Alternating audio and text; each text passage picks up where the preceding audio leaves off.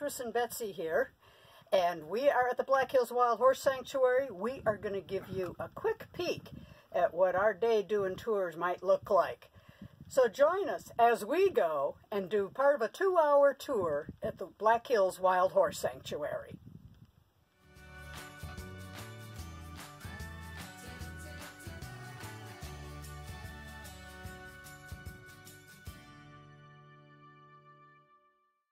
Tour out. When I do a two-hour tour out here, it's anywhere from this vehicle to a typical van to Thomas, a large yellow school bus.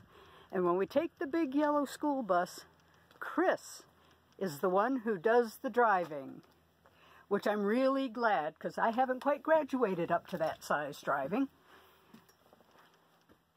And in a few minutes, this is going to be full of people. Um, I won't be filming them as we take this little tour, but I will uh, get you some pictures and video footage from a variety of tours that I've driven out here in the past.